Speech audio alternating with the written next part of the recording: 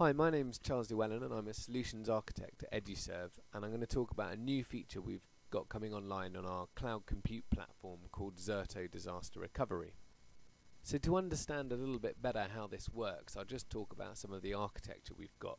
So we've got two ISPs, Internet Service Providers, connected to the Internet and below that two firewalls which replicate information between each other so if either fails the service stays up. We've also got two data centres, one in Swindon and one in Slough. In this scenario, the user has decided to deploy the virtual machine to the Swindon data centre.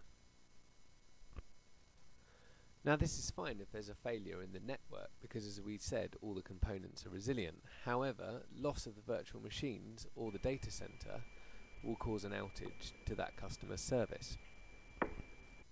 So enter Zerto.